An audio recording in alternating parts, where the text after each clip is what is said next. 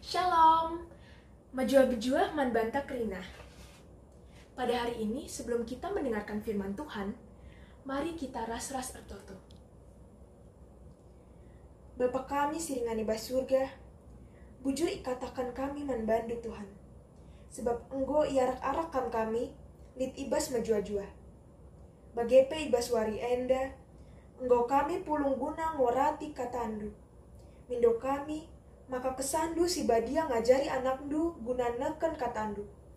Lako jadi tendang ibas kegeluhan kami, wari lepas wari. Kam si ngajari anakdu ibas neken katandu. Amin. Pada hari ini, saya akan berkhotbah dengan judul Anak Muda Menjadi Berkat. Anak si muda jadi berkat. Kita akan mempelajari tokoh yang menarik, tokoh yang muda, dan sudah sukses. Siapakah itu? Yusuf. Apakah kalian mengenal Yusuf? Yusuf adalah seseorang yang dikhianati saudara-saudaranya karena iri hati dan benci. Yusuf dibuang ke sumur yang dalam, dan setelah itu dia dijual kepada pedagang Midian dan Ismail yang saat itu hanya lewat di situ. Tetapi dalam perjalanan ke Mesir, setelah Yusuf sampai ke Mesir, dia dijual kepada majikan Potifar. Tetapi Yusuf tetap meneguhkan imannya dan menjaga kelakuan baik dan karakter baiknya. Tetapi meskipun Yusuf akhirnya dibuang ke penjara karena Potifar dan dan istri Potifar. Tetapi Tuhan selalu mengingat Yusuf yang percaya dan teguh imannya. Tuhan memberikan tafsiran mimpi, tafsiran mimpi Firaun. Tafsiran tersebut berisi tentang lima tahun kelaparan dan lima tahun panen berlimpah. Setelah itu Yusuf langsung naik menjadi perdana menteri termuda pertama. Dan dia menjadi penasihat untuk lima tahun kelaparan dan lima tahun panen berlimpah. Setelah itu, dia menjadi berkat.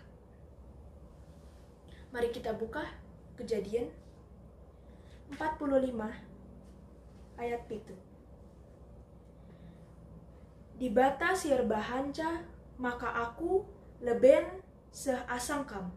Guna nelamatkan kam alu cara si luar biasa enda, gelah alu bagi kam ras kesusuran dus selamat.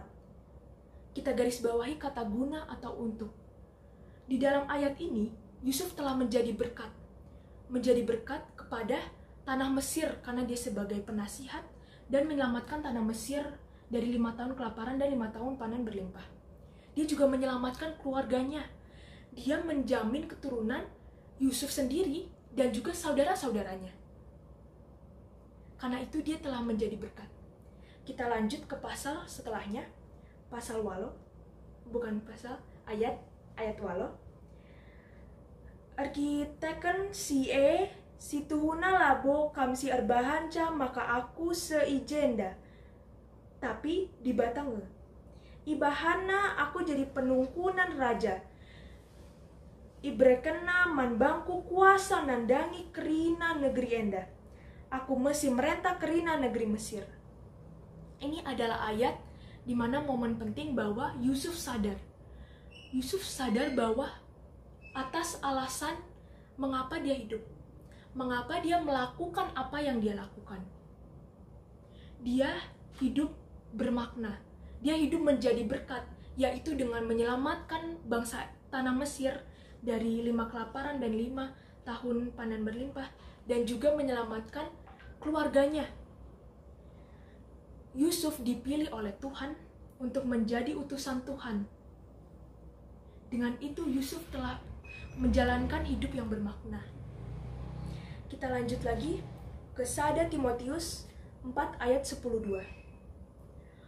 Olakal pelepas ICP mapas manbandu arkiteken muda dengar. Tapi jadilah kaman usihan kalak sitep.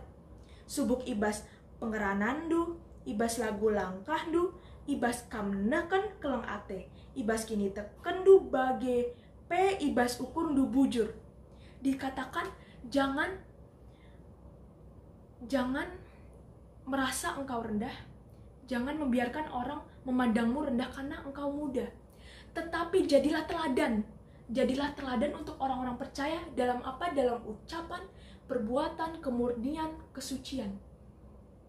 Tuhan percaya bahwa orang muda bisa menjadi berkat bagi orang-orang percaya. Bagaimana caranya? Bagaimana caranya? Uga kita maka banci jadi berkat. Yang pertama, minta hikmat dan tuntunan roh kudus. Mindo penampat man kesasi badia. Kita terus berdoa dengan tekun di dalam roh kudus agar bisa memimpin kita dalam perjalanan kita menjadi berkat dan juga kita juga berdoa meminta Tuhan untuk menolong kita dalam setiap perbuatan kita, membimbing kita setiap perbuatan kita agar kita melakukan yang benar, melakukan apa yang dikendaknya. Setiap kita melakukan mau melakukan perbuatan ataupun hal-hal kita selalu harus berdoa dengan tekun. Selalu agar kita mendapat jawaban. Tuhan, apa yang akan aku lakukan sekarang dalam masalah ini? Roh Kudus tolong pimpin hati dan jiwaku.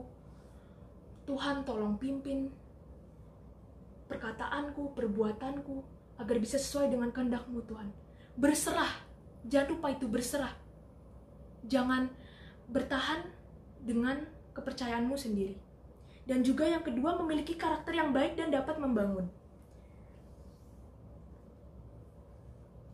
Apakah landasan orang percaya? Alkitab, firman Tuhan. Di dalam firman Tuhan ada perkataan Tuhan. Setiap solusi dari masalah dan juga landasan orang Kristen dan orang percaya semua ada di Alkitab.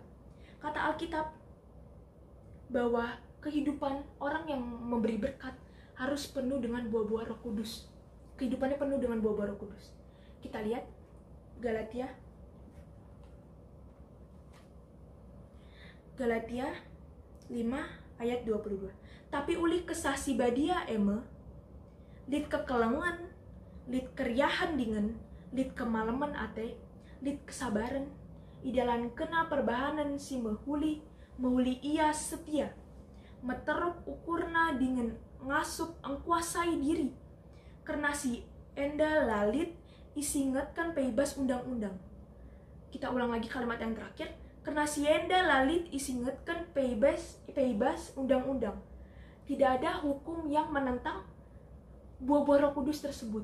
Sehingga Alkitab menggarisbawahi bahwa orang yang memberi berkat harus memiliki buah-buah roh dalam kehidupannya. Dengan itu, 2020 saya ingin berdoa. Saya ingin kita semua memiliki pikiran yang baru.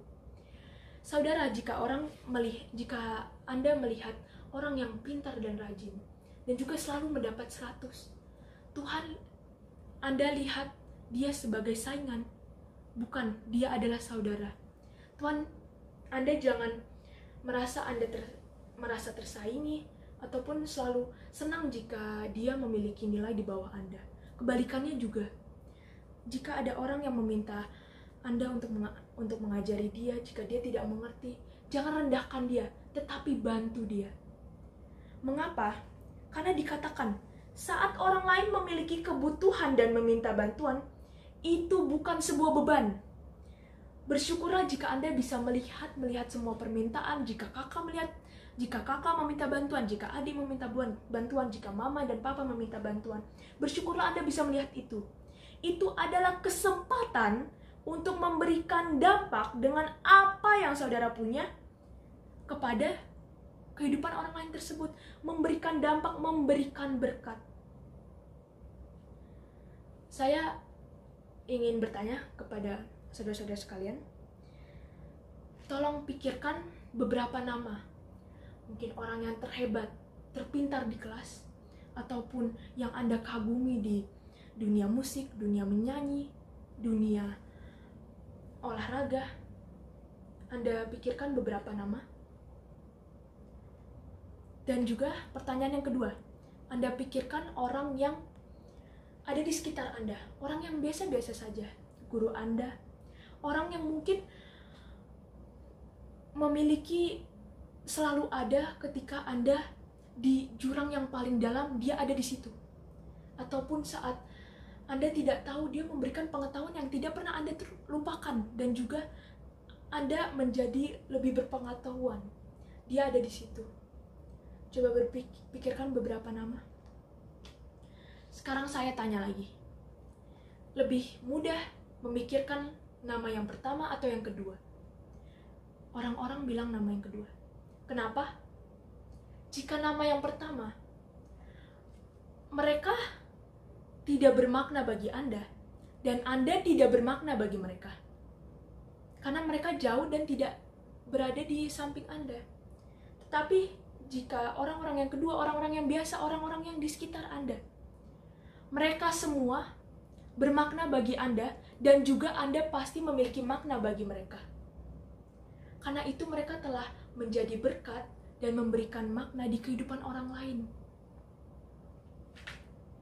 Saya berdoa 2020 dalam 2 3 atau 3 bulan ini 2020 akan berakhir. Anda isi hidup Anda dengan teman-teman Anda, orang tua Anda, adik Anda, kakak Anda. Setiap minggu Anda pergi ke gereja. Anda gereja dengan Zoom mungkin karena masih Covid. Setiap minggu Anda gereja, setiap minggu Anda bersekutu, jika adik Anda bertanya tentang pelajaran, Anda jawab. Jika mama meminta bantuan memberes-bereskan dan juga memasak, Anda bantu. Jika kakak meminta pertolongan, Anda bantu juga. Jika teman-teman Anda minta mengajarkan pelajaran, Anda ajarkan. Kenapa? Karena jangan lupa, saat orang lain memiliki kebutuhan dan kesempatan dan meminta bantuan, itu bukan sebuah beban. Ingat itu, itu bukan sebuah beban. Itu adalah kesempatan untuk memberikan dampak dengan apa yang saudara punya kepada kehidupan orang lain, memberikan berkat. Kesempatan guna mereka perubahan man kegeluhan kalaksi deban. Dengan itu, semoga kita berdoa 2020 bisa terisi dengan kekayaan berkat. Dengan itu anak muda bisa menjadi berkat, anak si muda jadi berkat. Mari ras-ras kita tutup. Bapa kami singan iba surga, bujur katakan kami man bandu Tuhan. Sebab ngoi temani ndu kami, ibas nengkahkan katandu. Mindo kami kesandu si badia, ngajari kami, gelabanci dalankan kami katandu. Gelah anak-anak ndu baci jadi garam ras terang. Bagi jadi berkat bagi kalak si deban.